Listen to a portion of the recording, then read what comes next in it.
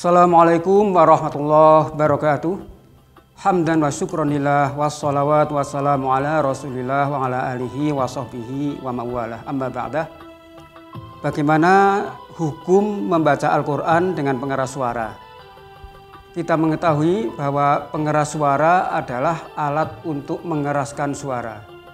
Alat itu hukumnya adalah tergantung penggunaannya untuk apa. Jadi di sini ada sebuah kaidah mengatakan al hukmu yaduru ma'illatihi wujudan aw adaman. Hukum itu tergantung dari ilahnya. Ada atau tidak. Nah, untuk alat pengeras suara kalau digunakan untuk membaca Al-Qur'an ya, ketika Al-Qur'an pembacaan Al-Qur'an itu digunakan misalnya uh, untuk mengimami agar apa? Agar makmum mendengarkan semua, agar suaranya merata ke seluruh masjid sehingga di situ apa namanya uh, rahmat bisa turun ya. Makmum bisa konsentrasi maka hal itu baik dan sangat dianjurkan.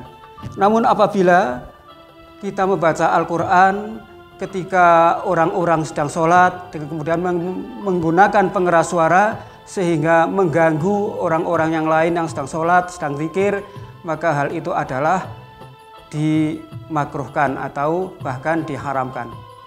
Demikian, terima kasih. Wassalamualaikum warahmatullahi wabarakatuh.